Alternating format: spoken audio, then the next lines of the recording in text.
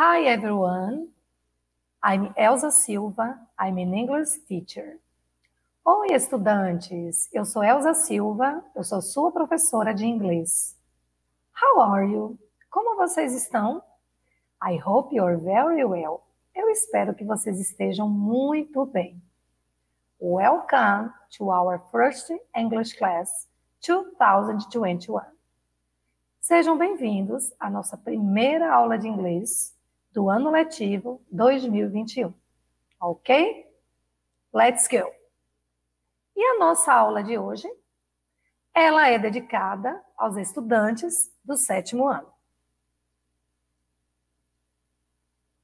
Para começar este primeiro momento especial, o nosso primeiro dia de aula, vamos assistir esse vídeo Never Give Up Traditional Cheese Shop. Ok? Let's go!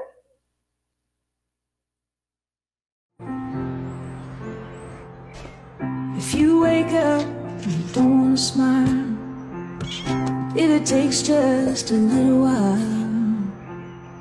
Open your eyes and look at the day. You'll see things in a different way. Don't stop thinking about tomorrow. Don't stop, it'll soon be here. It'll be here better than before. Yesterday's gone, yesterday's gone. Why not think about the times to come? And not about the things that you have done. If your life was bad to you, just think about what tomorrow will be. Don't stop thinking about tomorrow. Don't stop, it'll soon be here. Yesterday's gone, yesterday's gone.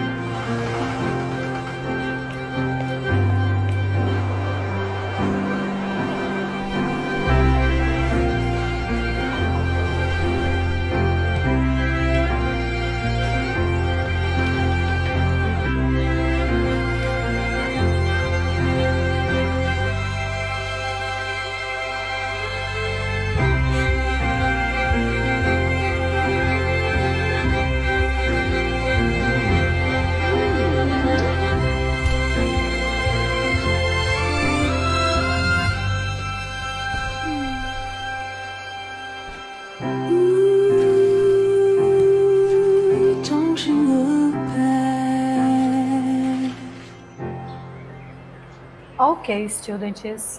O vídeo conta a história de uma família que tira o seu sustento vendendo queijos na Traditional Cheese Shop, na loja de queijos tradicionais. Todos os anos, esta família participa de um campeonato internacional de queijos, mas eles sempre conseguem tirar o segundo ou o terceiro lugar. E o objetivo, na verdade, é conseguir o primeiro lugar, o selo de qualidade. O pai, então, pensa em desistir, mas a esposa e a filha o incentivam a persistir até que eles conseguem vencer o International Cheese Championship, o campeonato internacional de queijo. E a partir daí, eles passam a utilizar o selo de qualidade, intitulado Creatively Crafted Cheese, queijo elaborado de forma criativa. Essa narrativa, ela nos ensina uma lição de vida. Sempre devemos persistir para realizarmos os nossos sonhos, para alcançarmos os nossos objetivos. Como diz o título do vídeo, Never Give Up. Nunca desista. E é com esse sentimento que começamos hoje a nossa First English Class 2021. Então, a nossa primeira aula de inglês do ano 2021. Ok? Let's go!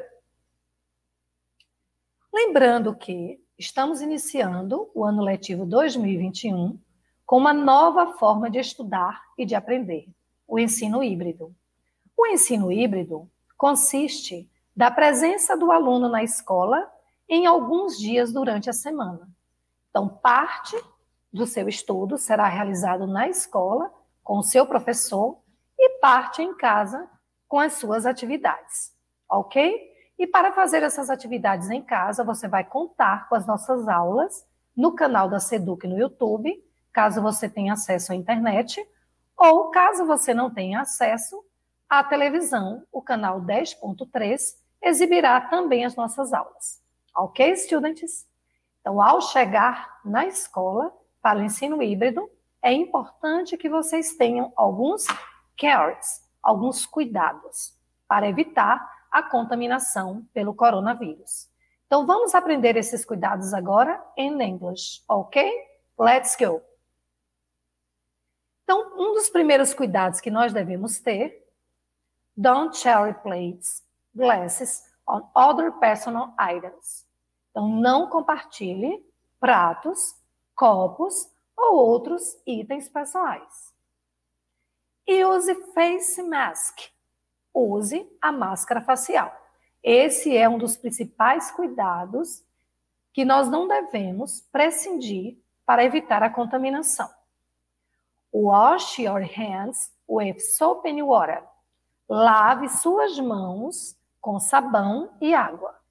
And clean your hand with hand sanitizer. E limpe suas mãos com álcool em gel.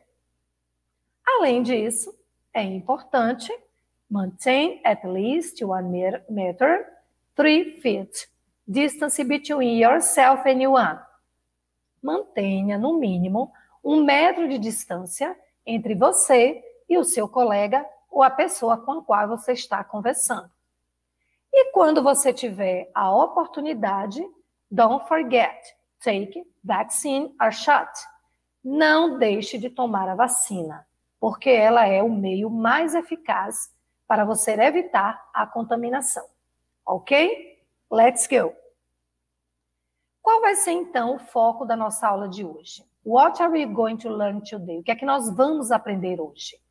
Vamos utilizar os conhecimentos da língua inglesa para falar de si e de outras pessoas, explicitando informações pessoais e características relacionadas a gostos e rotinas. Vamos também construir e ampliar o repertório lexical relativo ao contexto social do estudante para interação em classe, conforme a complexidade dos vocábulos. Não devemos nos esquecer do nosso caderno de inglês, que precisa ficar muito organizado. Então, escreva o cabeçalho em inglês. School, o nome da escola. Student, o seu nome. Grade, a série que você estuda. Date, a data da nossa aula de hoje. Teacher, o nome do seu professor ou de sua professora da escola onde você estuda. Abaixo do cabeçalho, vamos especificar o tema. O tema, o tema de nossa aula de hoje é Welcome 2021. Sejam bem-vindos ao 2021. É claro que segue também mais algumas tips, dicas de organização. Se você for realizar atividade de classe, coloque o título Class Exercise. Se for atividade de casa, Homework. E aquelas dúvidas que surgem durante a aula, que é muito natural do processo de ensinar e aprender, escreva no campo doubts, que significa dúvidas. Mas não se esqueça de tirar as dúvidas com seu professor ou sua professora. Ok? Let's go! Ao chegar na sala de aula, que eu sei que vocês estão muito ansiosos para esse primeiro encontro, é importante que durante a aula de inglês a gente exercite um pouco daquilo que a gente aprende, para tornar a aula mais dinâmica e fluente. Now, let's talk about class commands. Então, agora vamos falar sobre alguns comandos que a gente pode utilizar na sala de aula. Se você quiser pedir à professora para beber água, may I go a drink of water? Eu posso beber água? Se você for pedir para ir ao banheiro, can I go to the bathroom, please? Eu posso ir ao banheiro, por favor? Mas se você tiver dúvida e quiser fazer alguma pergunta, você pode levantar a mão e dizer: I have a question, teacher. Eu tenho uma pergunta, professora. Aquela palavrinha que você não sabe como falar e como se expressar em inglês, você pode perguntar para a Pro. How do you say in English? Como eu posso dizer, for example, professora in English? How do you say professora in English? Como eu posso dizer professora em inglês? Mas se for ao contrário, você sabe a palavra em inglês, mas não conhece o significado, what does teacher mean? O que significa teacher? Ok? E quando surgem aquelas dúvidas, você não entende o assunto, ou o colega se expressou e você não entendeu a fala do colega, você pode utilizar esta expressão I'm sorry, I don't understand. Desculpe, eu não entendo. Or, could you say that again? Você pode dizer isso novamente, ok? Não deixe de praticar o seu inglês durante a aula. Let's go!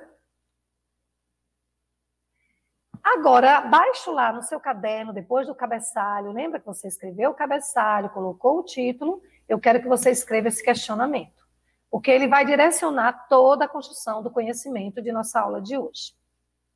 How can you speak about your personal information in English? How can you speak about your personal information in English? Como é que você pode falar pode expressar suas informações pessoais em inglês. Do you know? Você sabe? Tente rememorar o que você já aprendeu na escola, nas aulas de inglês, e escreva aí em seu caderno. Ok? Let's go. Self-introduction. Então, agora, nós vamos nos concentrar em explorar um pouco mais o vocabulário e aprender algumas expressões para nós nos apresentarmos em inglês. E não esqueça de praticar isso na sua sala de aula. Let's go! Apresento para vocês essa nossa personagem, Betsy. E Betsy vai se apresentar para nós em inglês e depois será a nossa vez. Hi, I'm Betsy. I'm a student and I'm 14 years old. I'm in seventh. I like to study English. I live in Feira de Santana City. I live in Sobradinho. It's a beautiful place. Então, Betsy aqui diz o seu nome, se apresenta como uma estudante que tem 14 anos, está na sétima série como vocês e ela gosta de estudar inglês. Ela mora em Feira de Santana, no bairro Sobradinho, lugar que ela acha muito bonito. Ok? So, agora é a sua vez. Eu quero te conhecer um pouco mais. Escreve em seu caderno, eu vou te dar alguns minutinhos. Escreva esses questionamentos e tente respondê-los. Se você conseguir em inglês, ok. Mas se não conseguir, responda em português porque nós vamos aprender no decorrer da aula como responder essas perguntas em inglês. Mas primeiro eu quero saber o que você já sabe sobre isto. Question number one: What's your name? Seu nome. Number two: How old are you? Sua idade. Number three: Where are you from? De onde você é? Sua origem. Number four. Where do you live? Onde você mora? Number five. What neighborhood do you live in? Qual bairro você mora? Em qual bairro você mora? Number six. What's your neighborhood like? Como é o seu bairro? Né? O que, é que você acha do seu bairro? Number seven. What's your favorite subject? Qual é a sua disciplina favorita? And the last one, number eight, o número oito. What are your interests? Quais são seus interesses? Ok? Então, vou te dar um tempinho para você responder.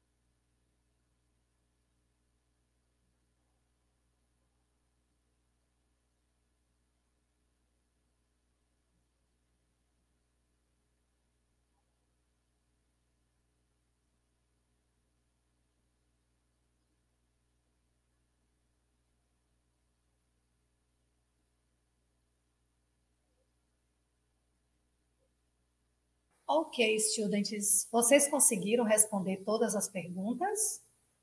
Trago aqui esta tabela como uma dica de características que você pode utilizar para falar sobre o seu bairro. What's your neighborhood like? Né? Como é o seu bairro? Você pode dizer, por exemplo, que ele é noise, barulhento, pleasant, agradável, quiet, tranquilo, exciting, emocionante, large, grande, modern, moderno, or ancient, antigo. Ok, students? Mas não se limitem a essa tabela. Pesquisem outros adjetivos em dicionários físicos ou online. Let's go! Agora, através dessa atividade interativa, nós vamos ampliar o nosso vocabulário a respeito das disciplinas escolares. Ok? Just a moment, please. Word grid. Né? Então, nós temos aqui um caça-palavras. E o vocabulário que nós vamos explorar são os skill subjects. Find out where are skill subjects. Então, nós vamos descobrir onde estão as disciplinas escolares. Ok? Let's go. Vamos fazer juntos e eu quero que vocês me ajudem. Lembrando que nós encontraremos as palavras na posição horizontal e na posição vertical. Ok, let's go. Já encontrei aqui essa disciplina, Religious Education, educação religiosa. Number two, Geography. É preciso que você segure aqui, no meu caso, né, que eu estou utilizando o mouse, até o final da palavra. Geography, geografia. Math, matemática. Just a moment, please, students. Physical Education. Eu sei que vocês amam a disciplina da educação física hein? Para jogar, para brincar, para correr, para dar risada. Quem não gosta da disciplina de educação física? History, história. Português, e olha aqui a disciplina, né? Que a gente aprende um pouco mais sobre a nossa língua. Let's go. Nós temos que encontrar ainda art, English and science. Conto com vocês para que vocês possam me ajudar, ok? English. English. Just a moment, please. English. Não me diga que é justamente essa disciplina a, in, a, a disciplina em inglês que eu vou demorar mais de encontrar. Science, science, ciências, ok. Art, English. Então, só falta a nossa disciplina. Encontrei, gente. Olha aqui. English. Just a moment. Ok. You are the best. Então, você é o melhor, porque você conseguiu encontrar todas as disciplinas escolares no nosso caça-palavras. Art, Geography, Religion Education, English, Math, History, Science, Português and Physical Education. Ok? Let's go! Então, vamos seguir aprendendo um pouco mais, porque nossa aula de hoje está riquíssima. Nós vamos desenvolver várias aprendizagens.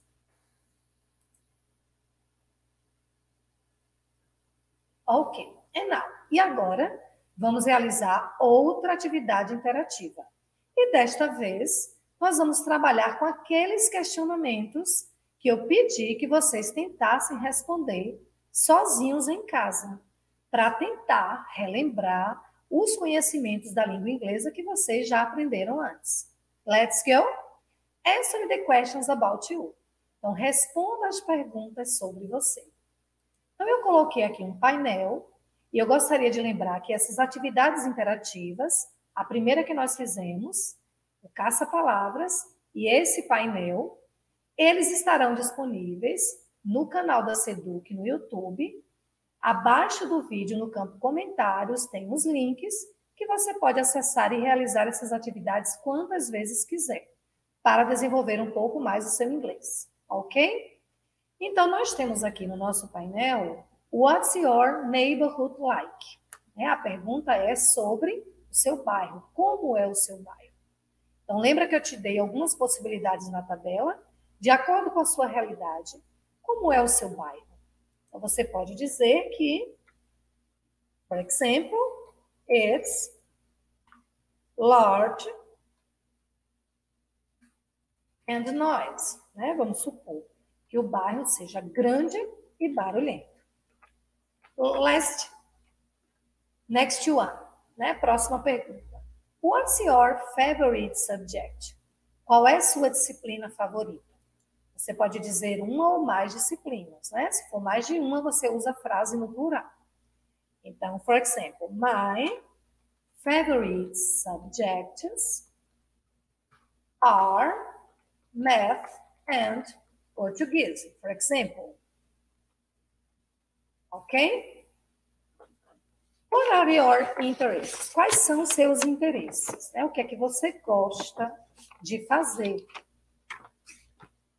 For example, I like I like movies and books. Eu gosto de filmes e livros. And you? E você?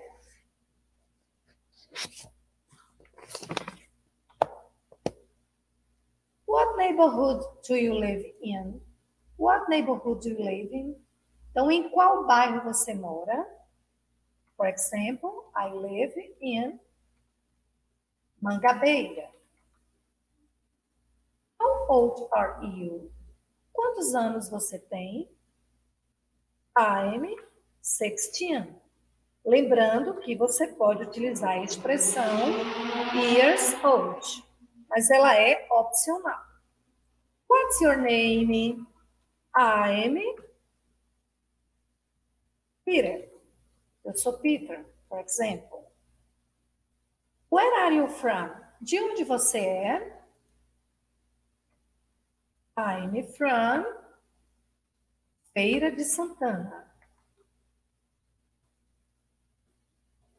Where do you live? Onde você mora? I live, just a moment please, I live in Mangabeira. Então, essa pergunta aqui, nós vamos consertar. Né? What neighborhood do you live in? Em qual bairro você mora? Ah, ok, ok. Let's, é, é, it is correct, está correto. Onde você mora? Aqui você tem outra possibilidade. Você pode colocar a cidade onde você mora. I live, I live in Feira de Santana. E neste questionamento aqui, where are you from? É a sua origem. Por exemplo, eu vou modificar porque eu não sou de feira, tá? Eu estou respondendo de acordo com a minha realidade. I am from Jacobina. Eu sou de Jacobina. Ok? Possa ser que essa resposta desta pergunta e desta, elas fiquem parecidas. Porque aqui pergunta de onde você é. I'm from Jacobina, eu sou de Jacobina. Where do you live? Onde você mora? I live in Feira de Santana. Eu moro em Feira de Santana. Ok, students? Então, esse é o nosso painel e você deve responder esses questionamentos com base na sua realidade. Did you understand me? Vocês me entenderam? Ok, let's go. Então, vamos dar prosseguimento à nossa aula. Just a moment, please. Só um minutinho, por favor. Eu continuar espelhando aqui os nossos materiais. E agora chegou o momento do nosso desafio. Let's practice, ok? Let's go.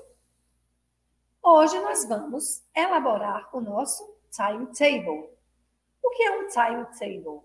É o quadro de horário onde nós organizamos nos dias da semana as aulas que irão acontecer em todos os horários, ok?